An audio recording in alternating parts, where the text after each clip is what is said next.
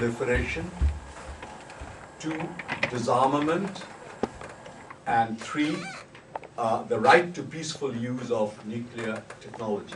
And those of you familiar with physics will know a three-legged structure is supposedly uh, the strongest of all.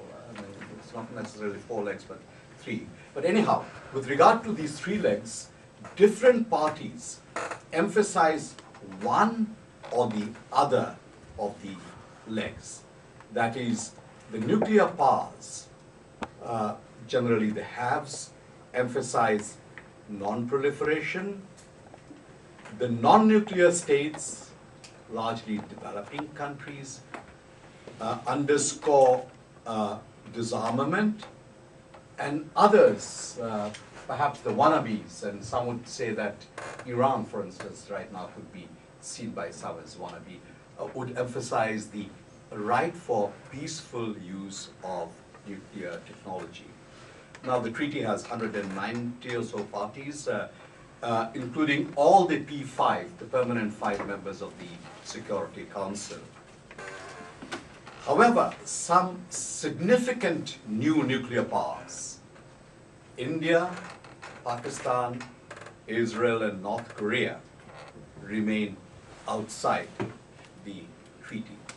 And India and Pakistan have long argued that the treaty is inefficacious, it's unequal, and perpetuates the, uh, uh, uh, the dichotomy between the haves and the have-nots. Now, all these powers are Asians, and today this is happening on the matrix, on the matrix of a rising Asia, rising in economic, political, cloud, etc., in varied fields. So obviously, these have ramifications for the NPT.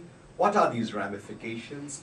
How can we accommodate the principles of NPT with the security aspirations of these powers? Now, to speak, speak to this uh, very important issues, these important issues, we have here the ambassador of France to Singapore, Son Excellence, Monsieur Olivier Caron. And uh, to him and to all of you, ambassadors, ladies and gentlemen, I bid a very warm welcome on behalf of ISAS.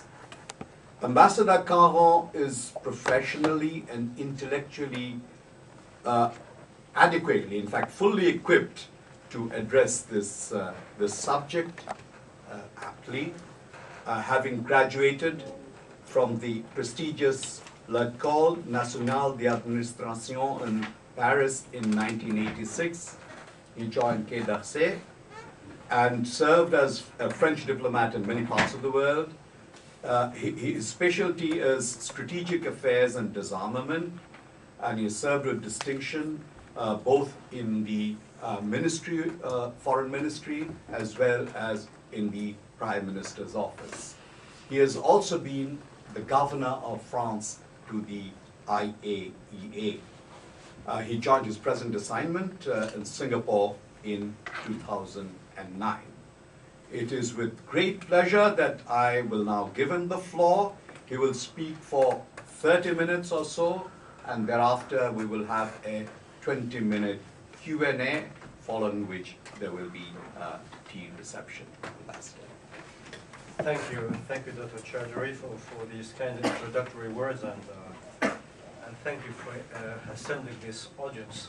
I'm very grateful to be here to be able to, uh, to address uh, this issue of the NPT and related issues, which indeed have constituted a large part of my uh, career in the foreign ministry and otherwise and I have always taken a very keen personal interest. So I'm very, very happy to be able to continue to engage in these, uh, in these, uh, these in discussing these issues with different audiences, and especially to uh, engage this issue with audiences in Asia, where, as you quite rightfully pointed out, um, much of uh, what is at stake with the NPT regime per se is uh, playing out. Also very grateful because uh, this also confirms one of the, uh, when I make, so to speak, the strategic choice of having an interest in disarmament and non-proliferation issues, I had a hunch that this was a good recipe to have a job for life. So that's a confirmation of this, uh, confirmation of this, uh, of- this hunch, hunch. So, uh, this is a very challenging task to, uh, to be able to try to, uh, to provide a, a objective, uh, objective account of NPT-related issues when you have been intimately involved in many negotiations at NPT prepcoms, or NPT uh, review conferences, having spent, spent a lot of time at the IAEA grappling with a number of issues, such as, for instance, the Iranian proliferation crisis civilian nuclear development issues, which are also a very important part of the IAEA's work. I think, um, so to keep straight, things straightforward and simple, I think I will address this point in three main blocks of issues, which I will hope stimulate uh, thoughts uh, later in discussions. First point I will try to, to I will uh, sort of taking stock, issue, uh, taking stock part of this, uh, this talk, take stock of the accomplishments and the present status of the NPT, which is a backdrop the whole discussion. Will try and try to highlight and evaluate what are the true challenges for the future, and then wrap it up in highlighting specific considerations for Asia, for the NPT regime and system overall, and from Asia. As you mentioned, much, much to the NPT will play out in this region. And I'll try to highlight a few things which I think can uh, point to a direction for the future.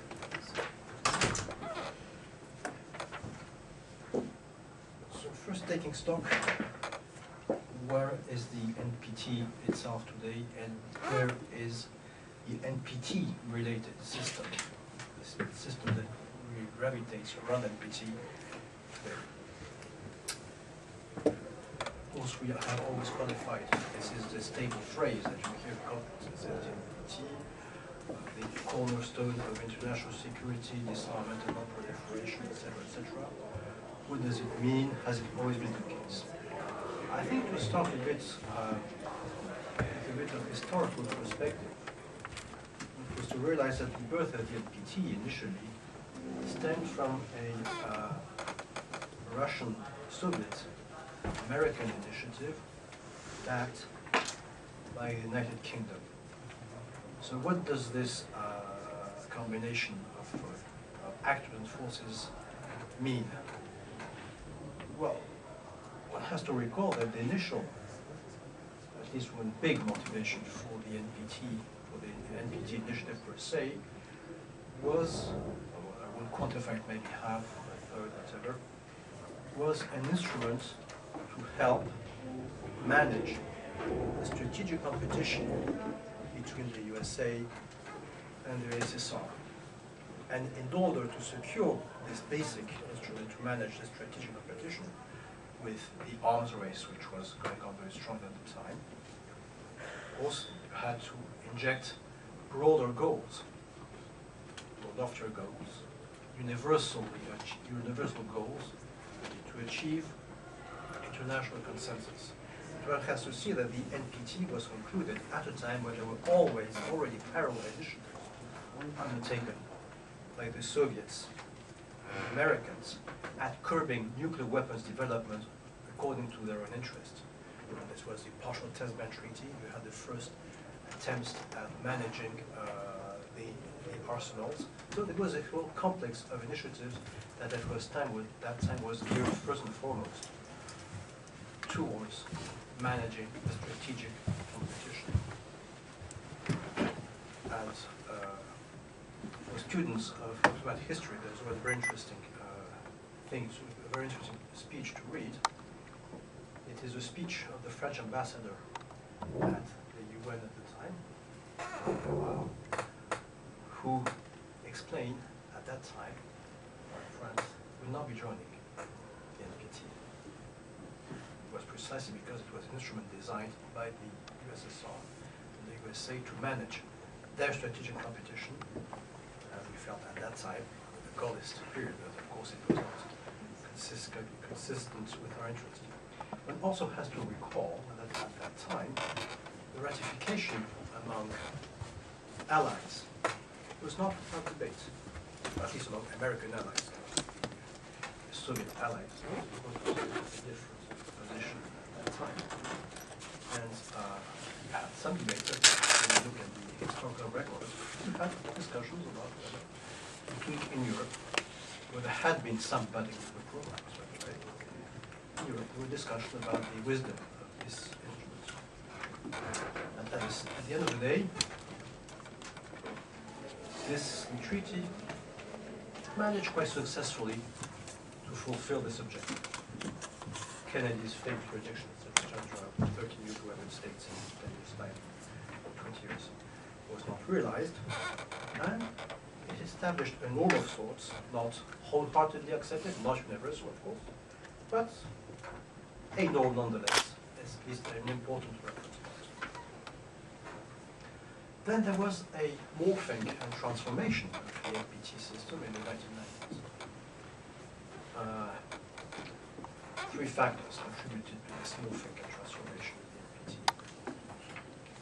First, Iraq, the Iraq issue, first one, uh, led, well, re- realization, course, put into full light something that, many, that, uh, that everybody knows, but uh, which is always unpleasant to find out, to, to, to, to materialize, realization that treaties could be breached with, of course, with discovery of the clandestine Iraqi program with its military aims.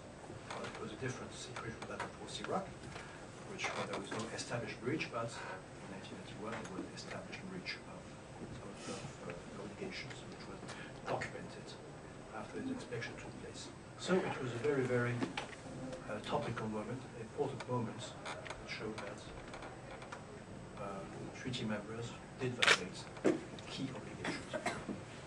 One has also to recall that at the time there was also violations of biological treaty. So there was a whole backdrop of violations of important international obligations, which uh, led to very important uh, diplomatic initiatives.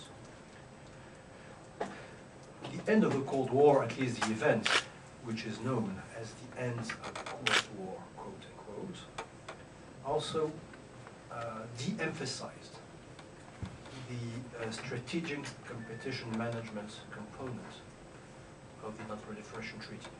That was not the principal motivation, at least. It was a motivation that at least faded away a little bit, because the strategic competition at least took, if not, well, was first, of course, faded in by itself, or took different forms, that, that was not anymore a purely, uh, mainly bilateral Russian American But it changed the, uh, the discussion to two, two, two uh, different issues, which were universality, quote and compliance.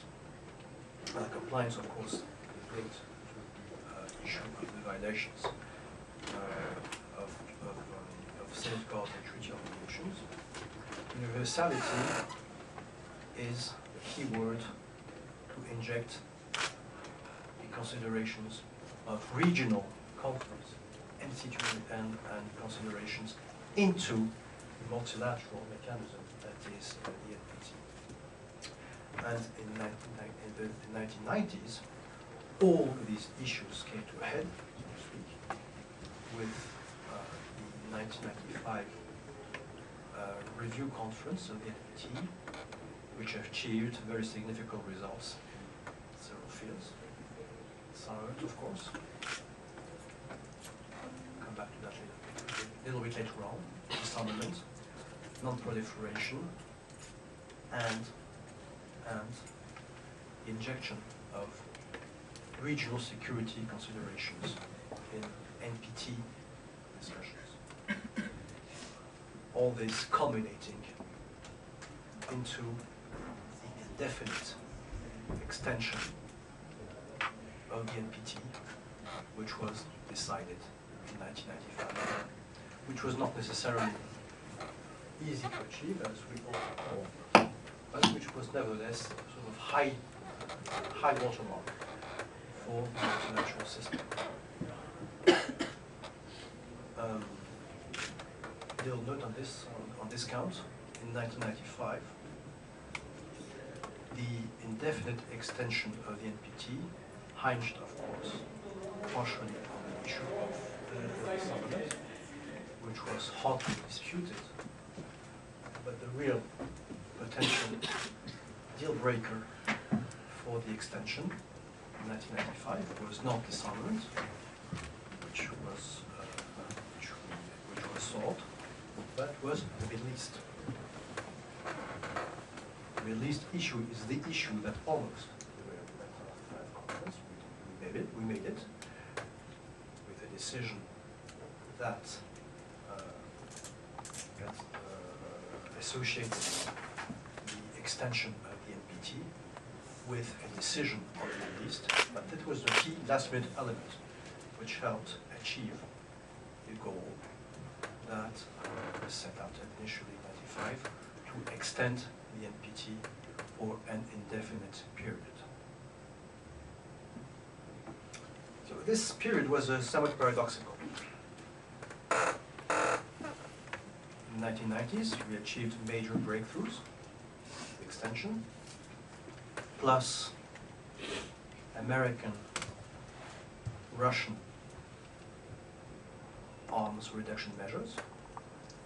That was the time, for instance, when uh, uh, the United States decided to reduce tactical weapons and remove it from, the from the majority of the locations.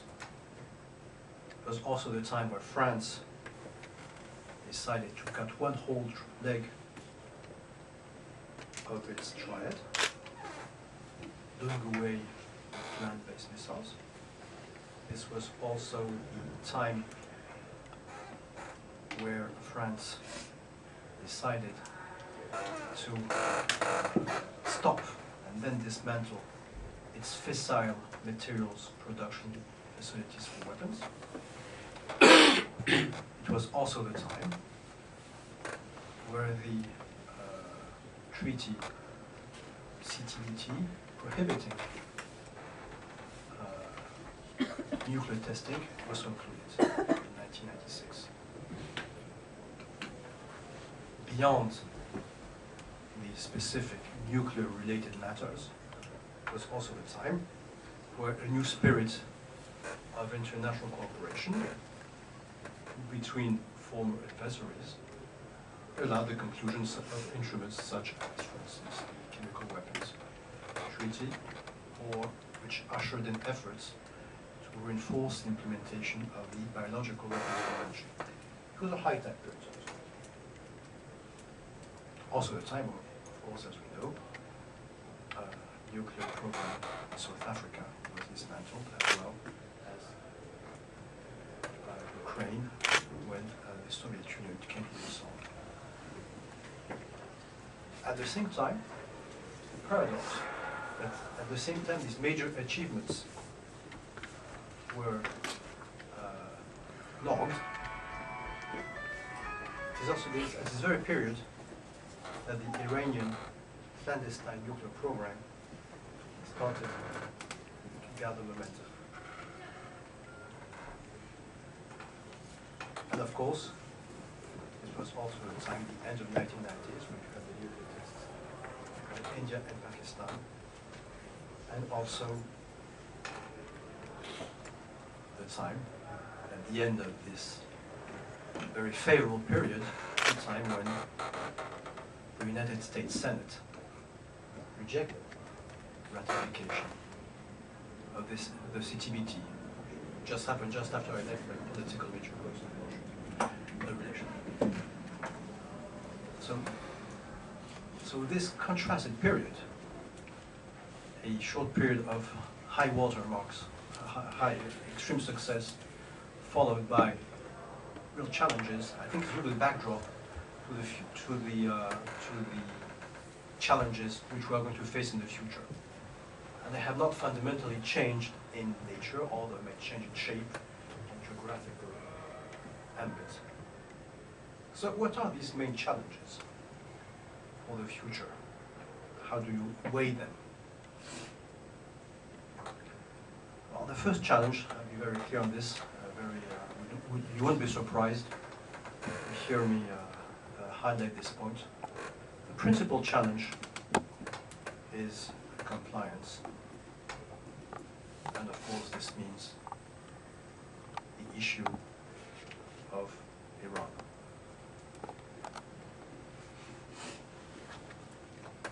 The Iran dossier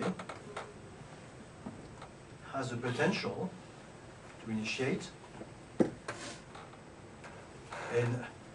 the region of the Middle East, which is West Asia. What would be the effects of a breakout, Iranian nuclear breakout? The first effect, I won't get into the speculations, but the principal effect that you could, you could see first, first in regional terms, is that the possible sanctuarization afforded by nuclear weapons capability could afford Iran at least partial cover to pursue regional policies which we don't think would be in the overall interest of the region or of the international community.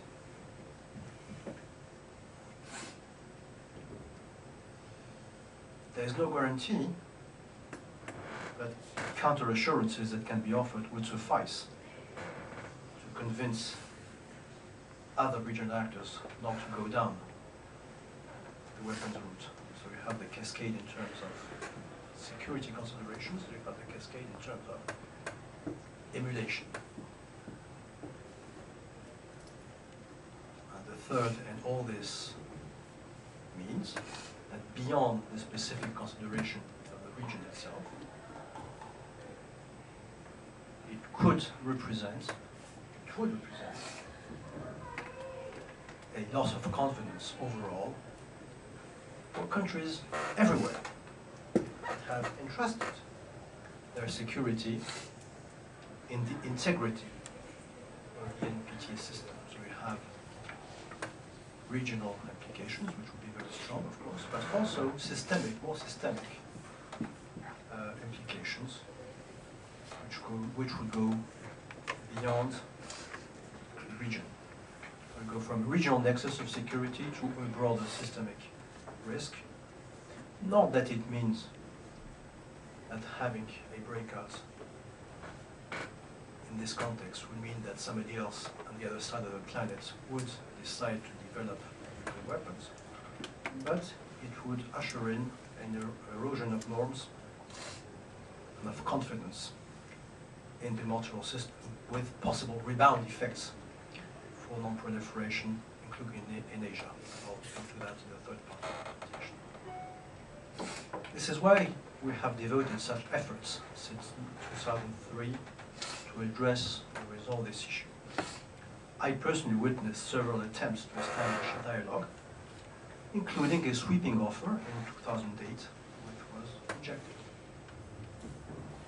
At the same time, which is important to register also, is that the international cooperation, by and large, on this issue, held on, even, it's, even if it uh, was not very, always very easy to get agreements between France, UK, Germany, China, But at the end of the day, we made it. And why did we make it? Because nuclear proliferation, and I think that's basically what it's the crux of the NPT consensus, quote unquote, that at the end of the day, nobody, it's not a zero-sum game, it's not a zero-sum game. Nobody can expect to lose less than the others from a nuclear arm Iran, and that's what's keep the initiative going. The second underlying, second major challenge for the future is um, the likely expansion of nuclear power even after the uh, Fukushima issue, which is going to result in the slowing down of uh, new nuclear build initiatives with reduced impetus, certain time lag, due to the induction of enhanced safety considerations, economic considerations, expansion of shale gas also, which will put off certain projects, especially in the US, by the way. That nuclear power will be part of the energy mix in the future with regard to car- carbon-free energy agencies, which means that long-term, there will be inevitable, there will be a continued push towards more, not only nuclear power generation facilities, but also more fuel cycle facilities. Fuel cycle facilities are inherently, or technologies, facilities, we can, we can discuss the technical details, but the technologies are inherently dual use. The challenge will be in the future with an expanded recourse to nuclear power in the world, we how to ensure fuel services, broad-based fuel services, without contributing to proliferation. And this is certainly an issue which is key in the second plank, this other plank of NPT which you mentioned, which is uh, use. The third challenge, which I see important, is as a key, I think, as a key challenge, is to maintain what I would qualify as a realistic momentum on the summit. Of course, disarmament is always, or anyone who has observed the conference on disarmament, disarmament is of course one of the most uh, charged, politically charged issues uh, that you can, can address in international forum. Is a key component of the NPT bargain, I would say. But I believe that we're at the moment facing a situation where one realizes that disarmament, the disarmament process cannot be secated from strategic, regional, and internal contexts. And it is interesting to see that while disarmament was in many review conferences of the NPT a breaking point issue, as it was for instance in 2005, in 2010 and the 2010 review conference, it was handled relatively, relatively of course, consensually. So there's good, there are good grounds to uh, rekindle a disarmament process if you look at the issue in the right angle. And what is the right angle for the issue? Well, the, first, in order to understand, to be able to conduct a serious discussion on uh, disarmament, you have to know what you're talking about. That is the object? Which means that it is a critical issue to have more transparency. Reporting obligations, stating has what. We're pretty comfortable with that because we have already declared our arsenal less than 300 weapons, which is, by the way, minus 50% in 10 years. Um, so we'd be very glad to have uh, this uh, move towards transparency being universalized among nuclear weapons holders.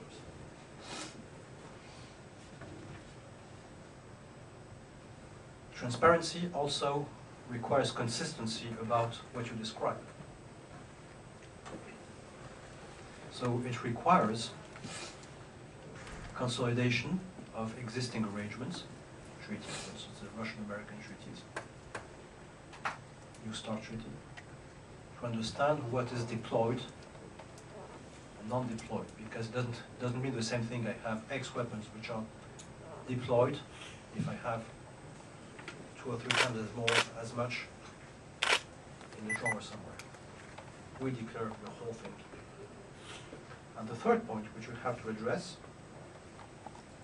is also to include the vectors. Because at the end of the day, it is the vectors, the delivery systems, which count.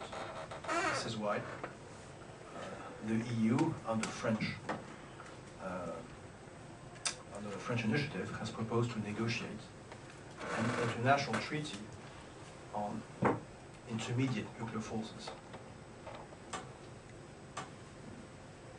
Rockets.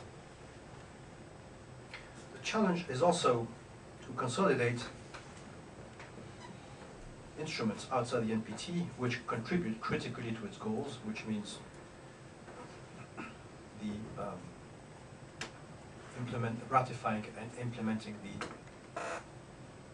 Nuclear Weapons Test Ban Treaty, CTBT,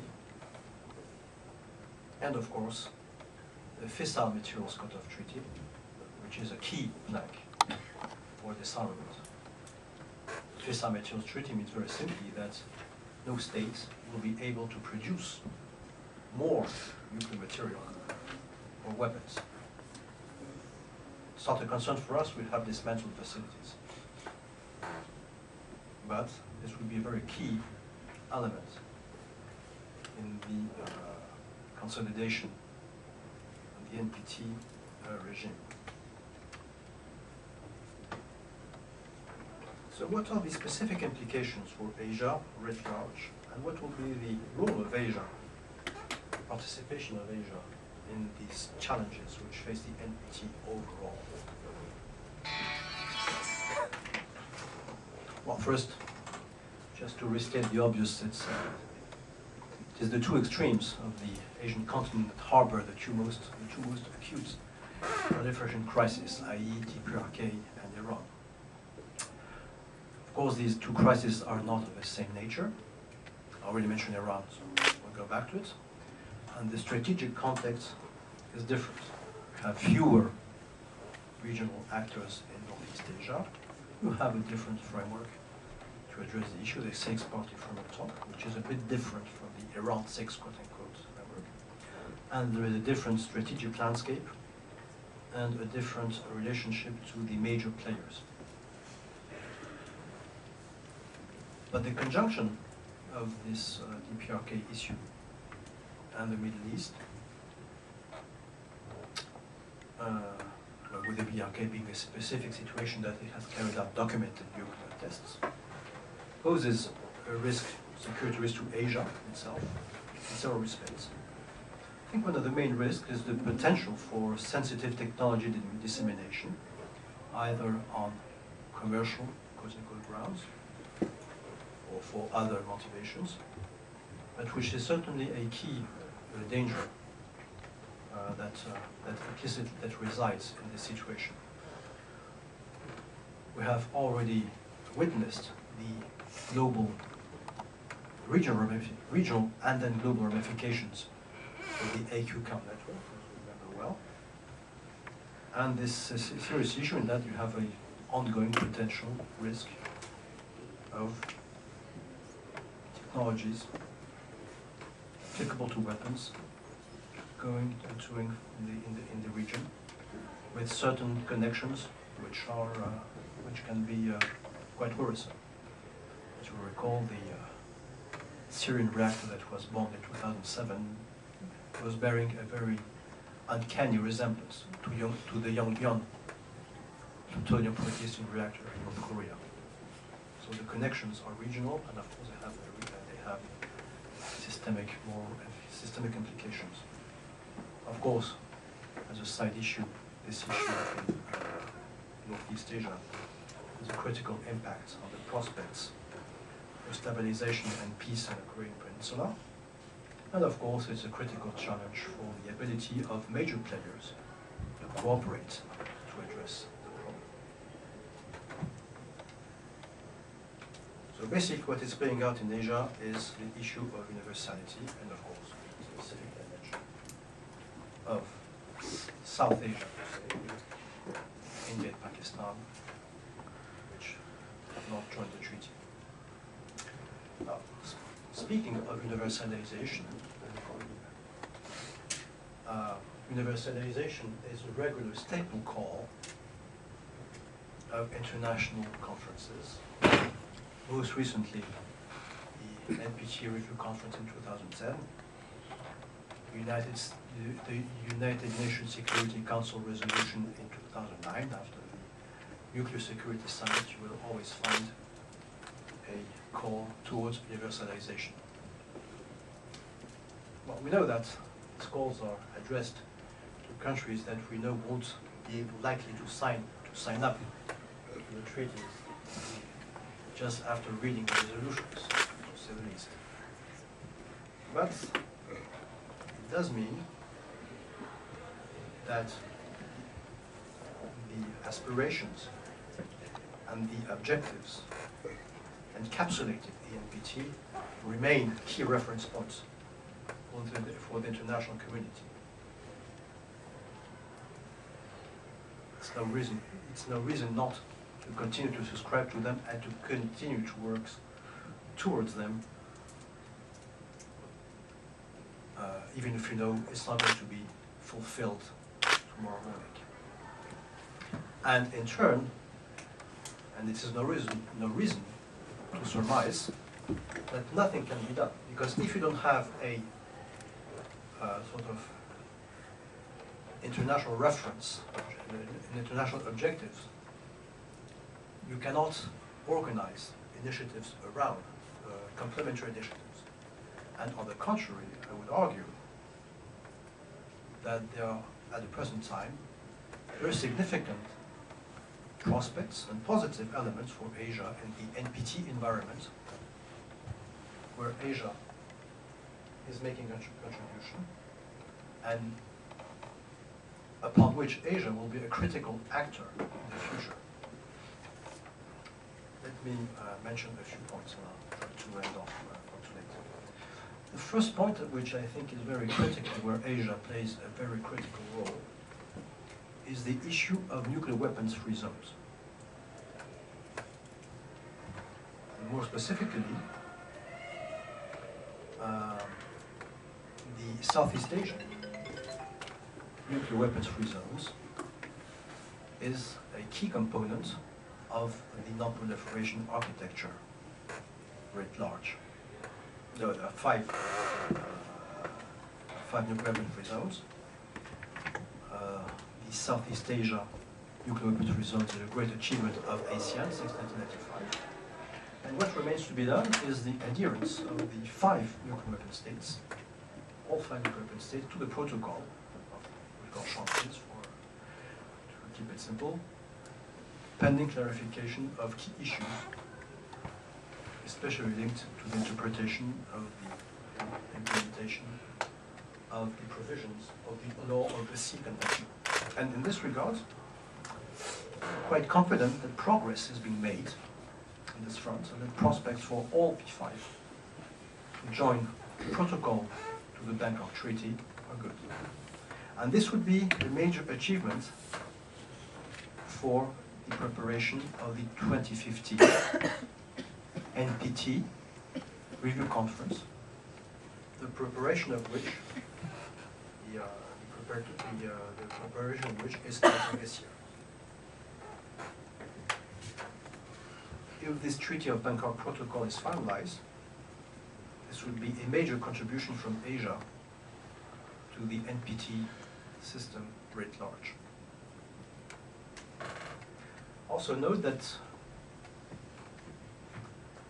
participation of Asian states in the Proliferation Security Initiative is significant.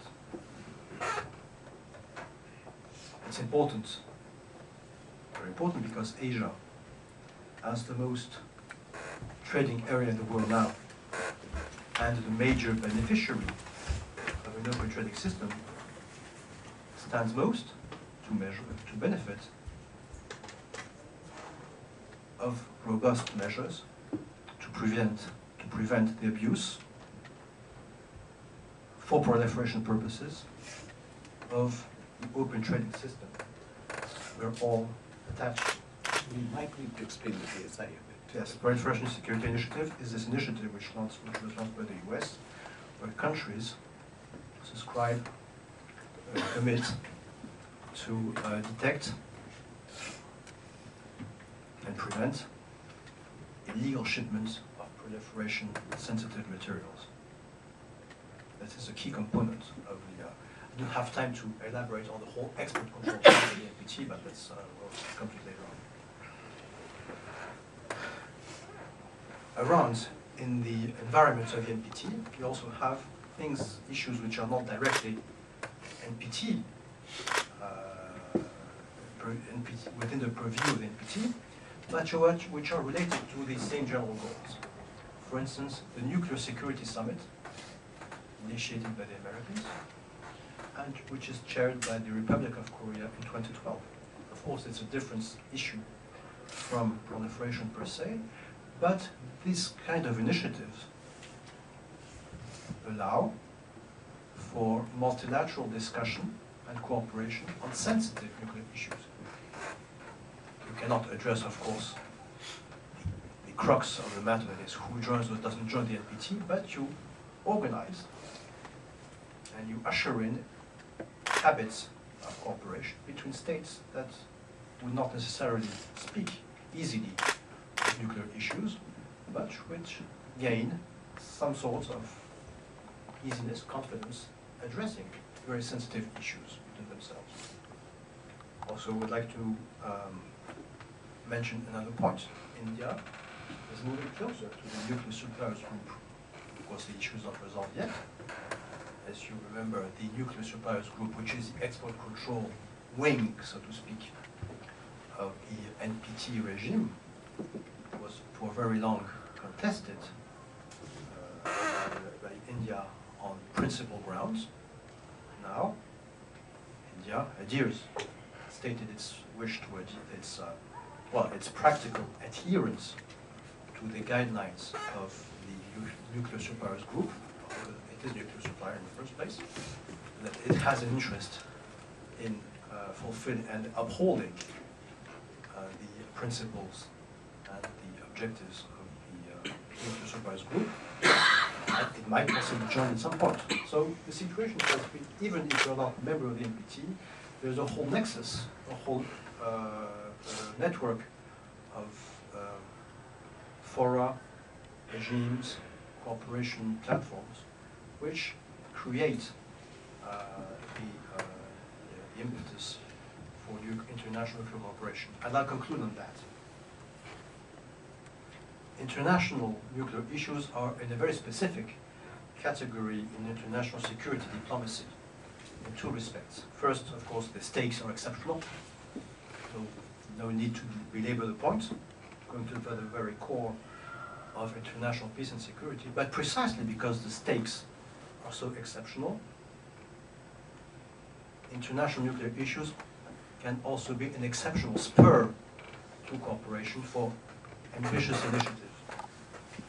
Remember what happened in Europe in the 1950s? Euratom. Euratom uh, is the uh, stated objective, uh, encapsulates this, the, uh, a stated European policy of putting together nuclear resources for peaceful purposes, of course, and managing them jointly, irrespective of whether you have nuclear power yourself or not. For instance, they allow for cooperation on materials control, which is a key component, of course, of the non-proliferation system, and of course of safety, which is a very, very topical and important issue nowadays after Fukushima. So I remember that some years back, there was, there were ideas that were touted or floated to promote something that would be called an Asiatom, that is a, a multilateral nuclear cooperation framework for Asia. Well, I don't know where this stands now. I think it's, uh, I think it's in the field of uh, very, very lofty ambitions for the moment. But I think also that thinking about these issues, having nuclear issues concentrate regional cooperation in some things which pushes countries into going to thinking ahead even more than would, e- much further they would have done with, uh, with other issues. That's my hunch. So uh, definitely Asia is certainly a region of the world. There's a lot of Asia where, of course, you still have very strong uh, universality, NPT uh, universality issues, of course, compliance issues, and which is the main continent or the prospects of receiving nuclear power. I think Asia is certainly the area of the world where you will need to deploy the most imagination to resolve these issues. I've been a bit too long, I'll stop now. Ned? Thank you, thank you, Ambassador Caron. That was uh, a very good presentation, an important one, but uh, also very stimulating. I will uh, now open the floor for, uh, for uh, Q&A, question and answer. Two by two, you will identify yourselves. I, I recognize the first two, but I'll leave it to you to identify yourselves and then pose the question. This is for the record, of course. Professor? Master, thank you very much for that uh, fine conversation, uh. I'm uh, Raja Mohan, and I'm visiting professor at the SRC. Uh, from India. Uh, First, I I thought I'd just make a few points. One on the the universality. When the Middle East countries are pushing for it, largely comes from them. Uh, It's largely about Israel and very little about India or Pakistan because for them, it's, it's been the Egyptian initiative from the beginning uh, to, to capture Israel in some form. Uh, So, uh, and I don't think uh, it's really about India or Pakistan. And as far as India is concerned, I mean, I think, uh, as you rightly pointed out, India's new engagement with the non-proliferation system as opposed to the treaty. Uh, India's, I think India's position is much like France between sixty-eight and uh, ninety-two when we joined the NPT, that though we are not a signatory to the NPT, we would like to behave and uh, practice the, all the core obligations that arise from signing the treaty. Uh, my sense is, I, I don't want to get into this north-south arguments, uh, you know, much of the uh, issues that are usually raised from, from I think the three fundamental problems uh, today in relation to Asia and the NPT, those could be the extra challenges that you might want to deal with. First, I think you referred to the nuclear-free zone. No, I think there is a, there was a, an illusion in Southeast Asia that by passing a declaratory measure, uh, you can exclude Chinese and American nuclear forces from the waters of Southeast Asia. That's broadly the principle of the nuclear free zone. But when the Chinese are claiming the whole of the waters, are contesting the law of the sea in terms of uh, innocent passenger military vehicles, I think you have actually a situation where the desire, the expressed desire of ASEAN is completely uh, at odds with what's going on on the ground. Uh, So I don't see how the, the, the, as the Chinese nuclear navy expands, uh, the Americans try to deal with it, uh, you're going to find a very messy situation in South China Sea. And that can't be solved by a nuclear free zone. I think there's a larger set of issues.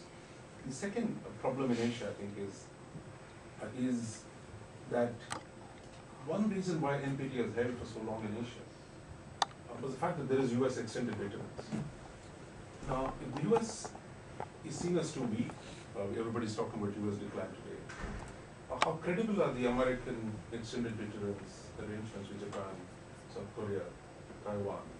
Now, in the context of rise of China, uh, if that sense that US is on the decline or cannot sustain uh, its commitments to Asian allies, that will be the biggest challenge for the future of NPT and not, uh, you know, the smaller ones that, that have been, that have been going on for, for a long time.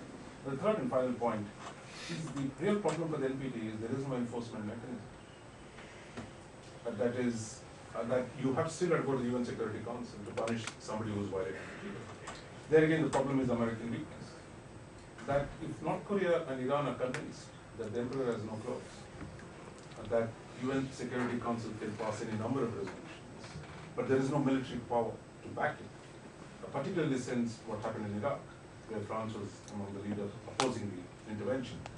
That given the situation where the US is so weak and uh, that it cannot really compel North Korea to roll back or Iran to give up, then the real problem for the system is going to be the American weakness uh, rather than the American unilateralism because the US is seen as going down, China is seen as going up, maintaining the system, I think is going to be far more complicated. Well, okay, uh, we'll have a Ambassador.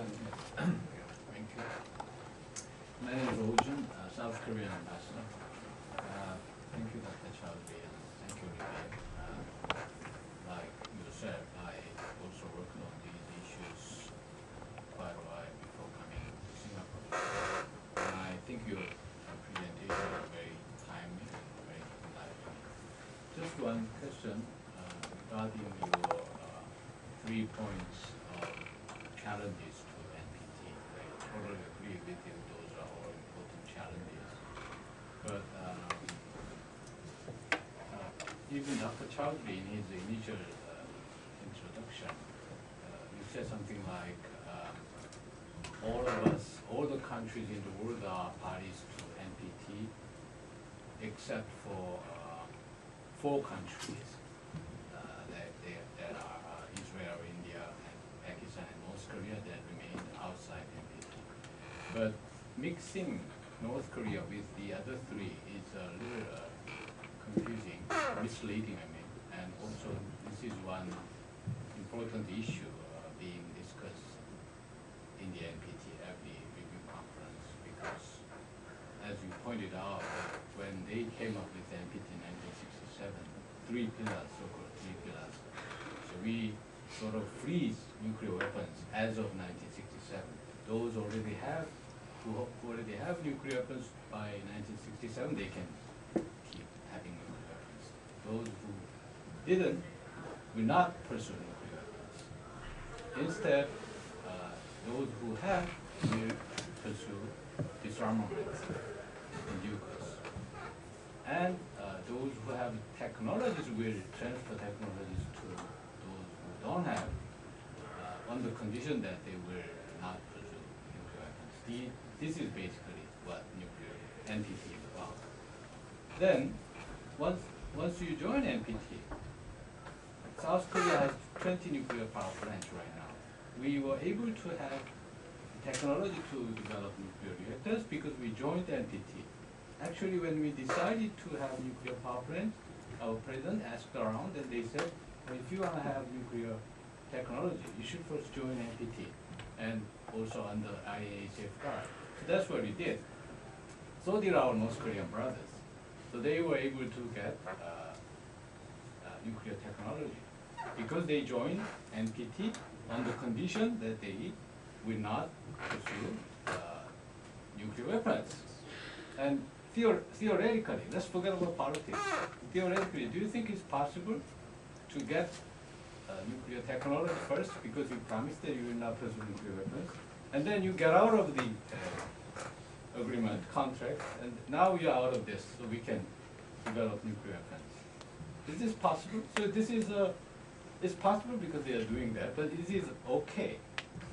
So one of the important issues being discussed in the NPT is that, is it possible for a member, a party to NPT, to come out of it? There is no uh, clause in the NPT specifically giving uh, conditions for this. There is a vague uh, uh, wording about it, it's not. So every NPT review conference, the formula they are doing now is they, the, the chair, chairman of NPT review conference is holding North Korea's country name plate under his custody. That means they are not, they have not yet uh, uh, endorsed North Korea out of NPT.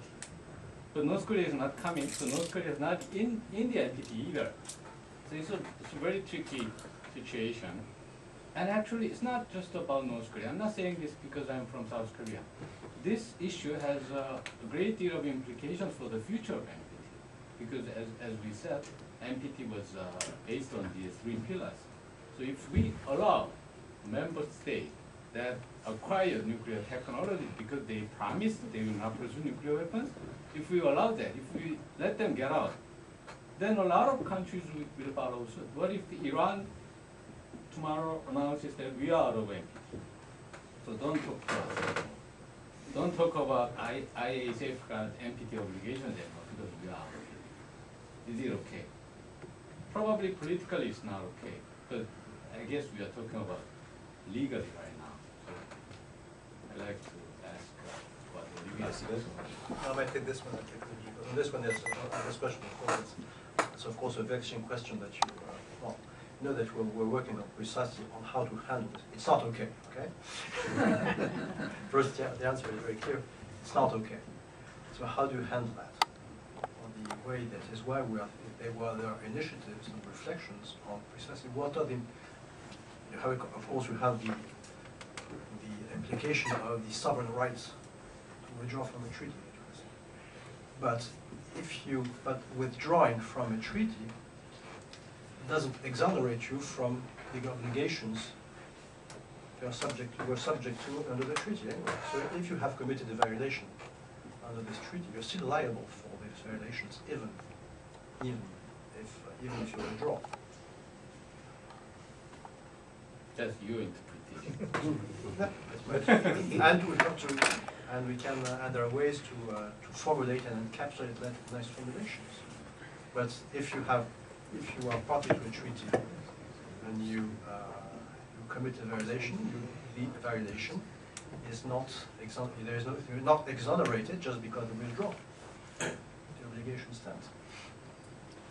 Two very quick ones on, on, on this. Is there a NATO uh, principle, I mean, that once, in a, when the state of war commences, uh, uh, the, uh, the obligations are on hold? Uh, uh, uh, NATO keeps, uh, or has kept making this point at times. I don't know if, if, if that is enshrined in any of the principles.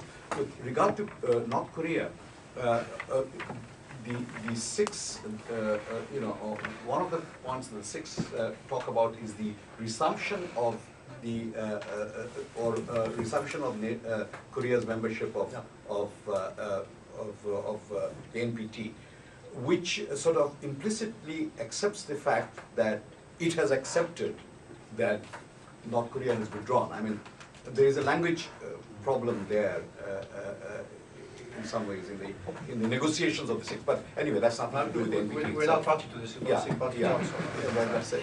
So, You- But, you but take on the- question, no, I think, I think that's a, it's a certainly valid question, of course, yeah. all of this is, uh, all the, all- all these, instruments, international instruments, operate in the context of international strategic situations, are rivalries, which doesn't mean that they're, that that they're not useful or, uh, or relevant, on the contrary, because the more you have uh, international regimes, or regional regimes, that provide some sort of, some sort of constraints, some sort of rules of the road, so to speak.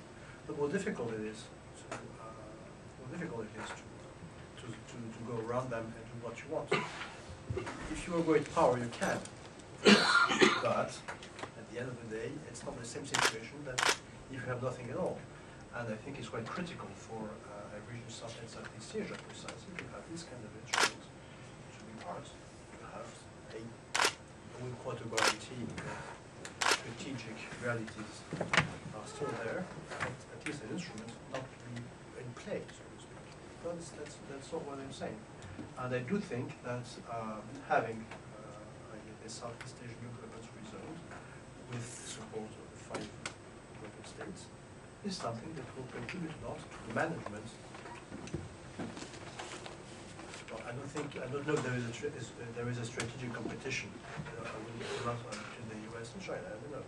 But at least that would be a key instrument in avoiding certainly, uh, I think that's very important. As, as to your second point on what is the implication of, uh, with, of external, well, well, there is a there is a postulation that the United States is, uh, is weakening. That's, that's, a- that's a postulation. I'm not, sure this is what. Okay. Um, uh, Yes, uh, Mr. Suryanarayan. Yeah. Thank you. I'm Surya from the ISAS. So you made a mention of uh, India's exemption from the NSG guidelines. And, you know, following that, several countries have signed civil nuclear agreements with Mhm. India, including your own country. And uh, now Japan has negotiations with India. And one of the sticking points is Japan refuses to accept India's voluntary and unilateral moratorium on nuclear weapon testing, don't you think uh, the unilateral and voluntary moratorium is consistent with this exemption from NSG guidelines? And also, don't you think it's consistent with the spirit, if not the letter of NPT? And a theoretical question is, uh, is extended deterrence or nuclear umbrella consistent with the letter or spirit of NPT at all? Yeah. Uh, Thank you. Ambassador, that was, for me, quite an ex- expensive Next. bit of learning listening to you. But there are certain anomalies that come up to my mind. You started by talking about Iran. Now, as long as Iraq was attacking Iran, the United States was very happy about it. When it turned around on Kuwait, neighbor, then situations changed. And the story was that this, this guy had WMD weapons of mass destruction, which after millions of lives and millions of dollars proven to be non-existent. So this business uh, is not so much about war, about justice, or anything, it's about politics. Now, Iran, as you know, uh, um, is, uh, has always been a traditional enemy, not an enemy, but something that the United States does not like because of its own experience uh, which has been wrong over the years. The country is entitled to its own power and its own politics. But the elephant in the room in the Middle East that puzzles me is that nobody's asked Israel, have you got a nuclear weapon or not? Have you or not? Yes or no? There's never been a yes, there's never been a no, and everybody has left it as it is. Now, I don't know what I, where, where NPT comes in into this equation, but it seems to be, you know, a complete anomaly there. At the same time, that country's been grabbing land which does not belong to it. Nobody said anything, get away from this.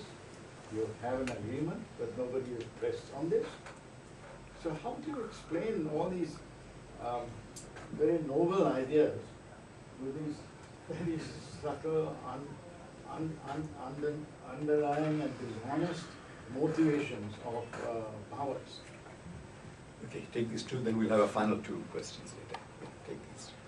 Uh, So so- so I take your, I take your com, I take your question as a comment, an expression of a position, so, so I know, so I don't, I'm not, I'm not in a position to, uh, to, uh, to react to it, although, although with, uh, with regard to Iraq, to Iraq, you have to distinguish with to Iraq what happened in two thousand three and what happened in ninety-one, because in ninety-one, we did find a clandestine nuclear program. Not in two thousand three, but in ninety-one, it was there. It was initiated after the Israelis had destroyed the Osirak reactor. Iraq initiated a clandestine nuclear program which had military aims that was documented. That was, the UN security, it was dismantled under UN Security Council supervision. So there was a, nu- so in ninety-one, there was a nuclear weapons program.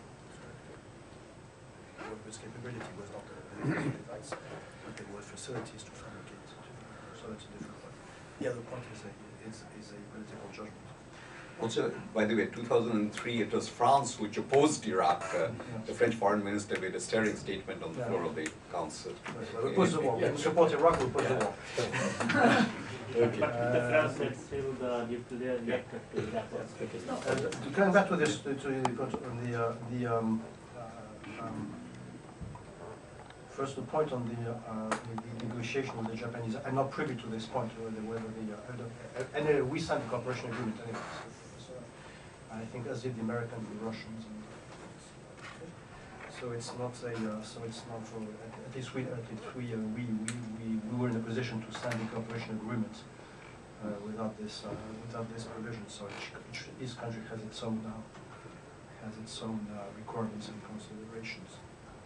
So that's, so, so that's, so that's not a, that's not for us, that's not an issue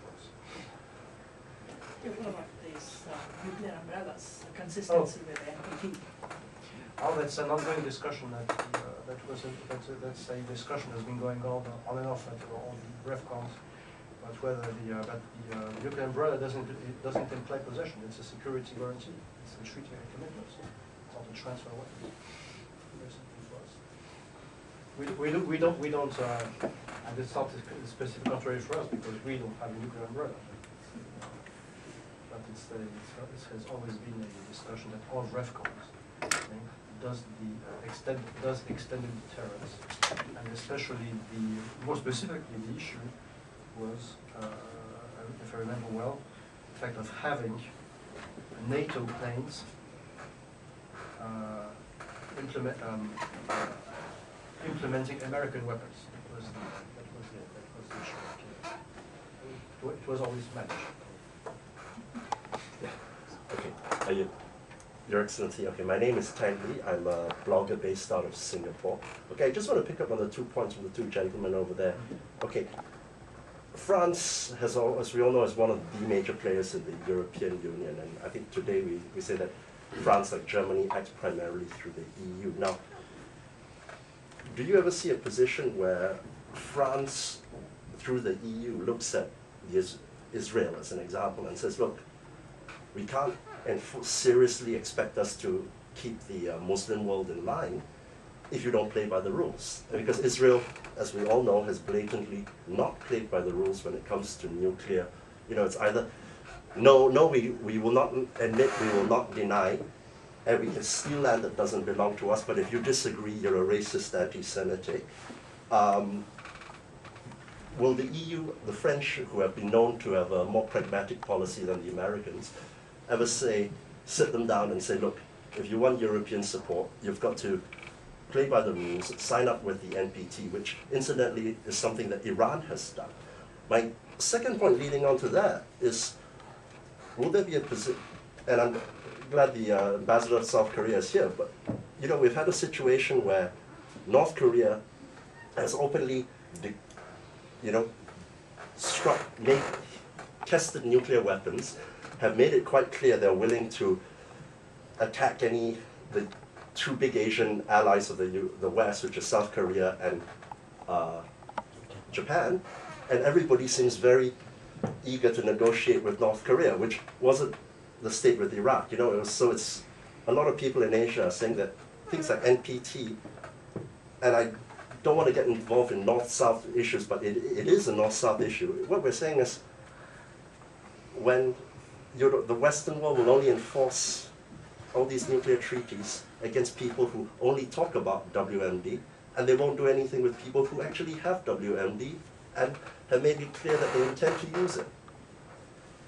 How would, how would, do you see the EU, the French or the EU taking a leadership role in correcting this? Well, The EU and the French reforms, you mentioned the Middle East, we support very much uh, the concept of a, Middle East nuclear weapons free zone. So we are very, we are for it. We are we're to support all initiatives going in this direction. We are, we are in favor of these the international instruments, which uh, help, uh, which help precisely address the questions which you, which you, uh, which you have mentioned. And I think there are no soft issues.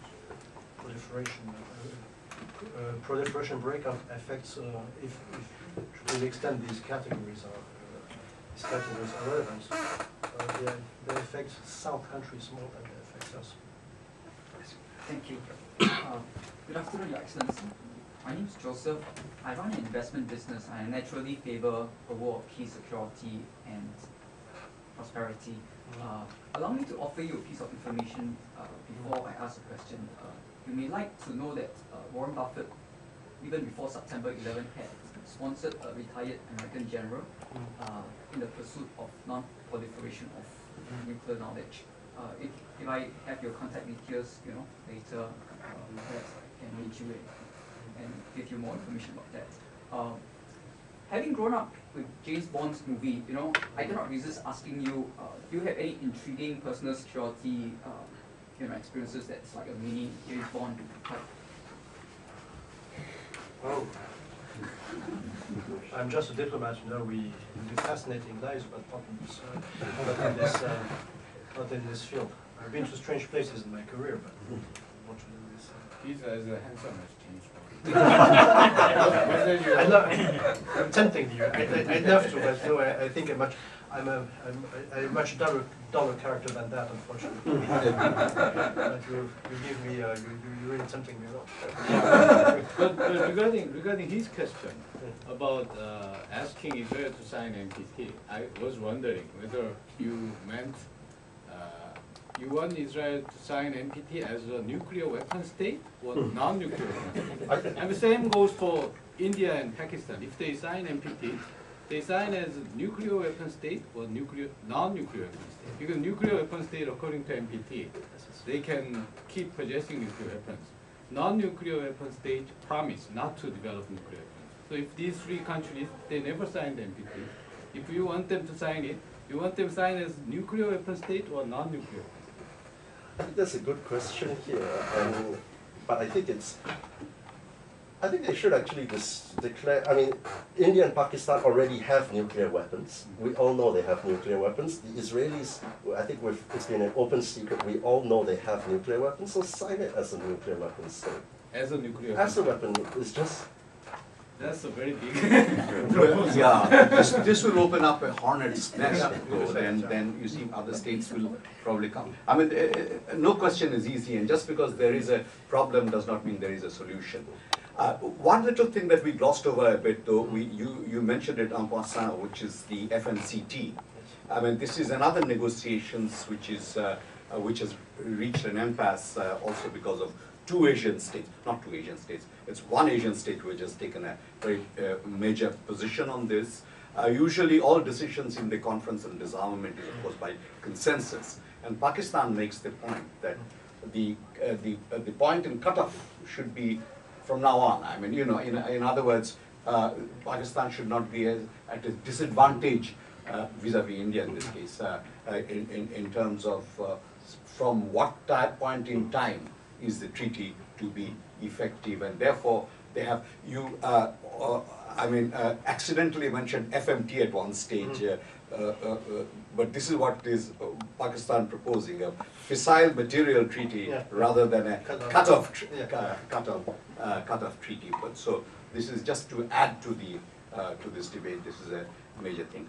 Anyway, I think we have come to the end of it, which is a very very interesting discussion. Uh, uh, you have raised some very important points, responded uh, as well as one could uh, under the circumstances to many of those. Uh, uh, uh, uh, but uh, some of these human aspirations, oddly enough, I uh, we talked of uh, the CD, the Conference on Disarmament, and this is located in Geneva.